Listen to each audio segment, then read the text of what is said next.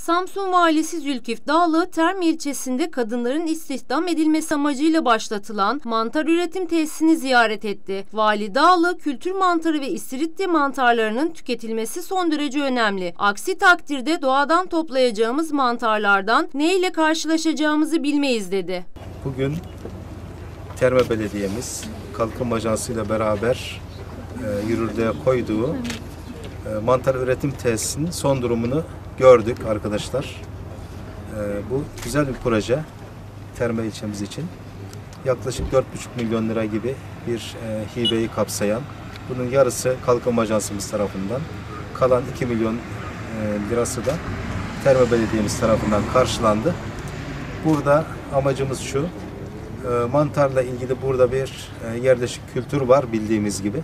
Bunu daha kültür mantarı haline dönüştürmek suretiyle burada üretimin önünü açmak amacımız. Özellikle kadın üreticilerimizin e, bu manada kendileri burada öğrendikten sonra çünkü biz önce bu çadırları kendilerine kiralıyoruz. Ardından da kendi işlerini yapmak suretiyle kendi çadır, çadırlarında oluşturacaklar.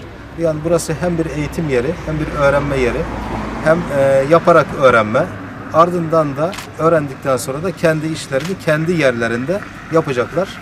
E, tabii mantarın ne kadar protein açısından besin değeri olduğunu biliyoruz. Çok önemli. Mantar e, tüketimi de ülkemizde de gerçekten çok iyi karşılığı var. E, bu manada bu belediyemizin kalkınma ajansı ile yaptığı bu projeyi biz destekledik başından beri. Ve bundan sonra da desteklemeye devam edeceğiz.